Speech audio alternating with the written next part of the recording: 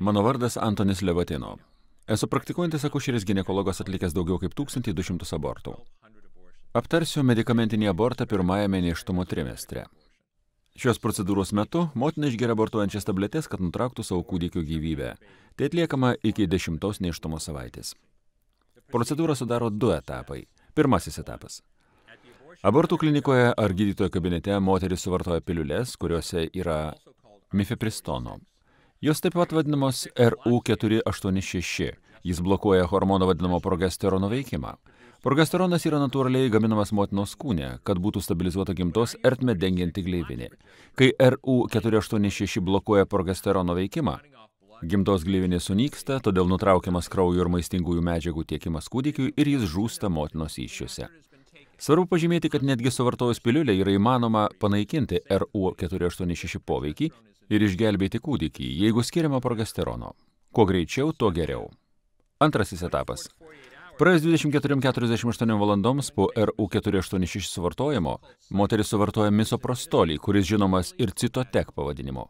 Preparatas perskiriamas vartoti per burną arba įdedamas į makštį. RU486 ir misoprostolis naudojami kartu sukelia stiprius pilvo spazmus, sąrėmius ir dažnai gausų kraujavimą, kad žuvęs kūdikis būtų išstumtas iš moters gimdos. Procesas gali būti labai intensyvus ir skausmingas, o krojavimas ir sąrėmiai gali trukti nuo kelių valandų iki keleto dienų. Kadangi šio proceso metu moteris gali netekti savo kūdikių bet kada ir bet kur, ji dažnai sėdi tualete ant klozeto, rengdamas išstumti kūdikį, kurį vėliau vandens srove pati nuleis į klozetą. Ji netgi gali pamatyti savo nebegyvą kūdikį gemalo maišelėje. Pavyzdžiui, devintą neštumo savaitę kūdikis būtų jau beveik colio 3 cm ilgio ir jeigu moteris atidžiai įsižiūrėtų, ji galėtų suskaičiuoti kojų ir rankų pirštelius. Moteris gali patirti kraujavimą vidutiniškai nuo 9 iki 16 dienų. 8 procentai moterų kraujuoja ilgiau nei 30 dienų, o 1 procentas moterų turi būti hospitalizuotos dėl gausaus kraujavimo. Neštumą vystantis nesėkmės rodiklis auga. Ištikus nesėkmiai moteriai siūlomas chirurginis abortas. Motina medikamentinis abortas dažniau sukelia pilvo skausmus, šleikštulį, vėmimą, viduriavimą, galvos skausmus ir gausų kraujavimą. Moterų mirtys dažniausiai vyksta dėl infekcijos ir laiko nediagnozuoto negimdinio neštumo. Kaip jau minėjau, esu gydytojas Antonis Levatino. Karjeros pradžioje, dirbdamas akušerio ginekologu, esu atlikęs daugiau nei 1200 abortų. Vieną dieną, baigęs abortą, pažvelgiau į palaikus negimusio vaiko, kurio gyvybę pats nutraukiau, ir jame pamačiau kažkieno sūnų ar dukterį.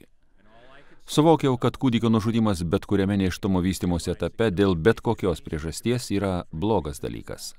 Noriu, kad žinotumėte, jog nepaisant to, kuo užsimate ir ką esate padaręs, šiandien jūs galite pasikeisti. Primkite sprendimą ginti dar negimusius kūdikius. Ačiū už jūsų laiką. Daugiau nebedarysiu jokių abortų. Kai galiausiai supranti, jog tokio dydžio kūdikio nužudimas dėl pinigų yra blogas dalykas, tai ilgai netrunki, kad suvoktum, jog visiškai nesvarbu, ar kūdikis yra tokio dydžio, ar tokio dydžio, ar tokio, o galbūt netgi tokio, visa tai yra tas pats. Nuo to laiko nebedariau abortų ir niekada nebedarysiu.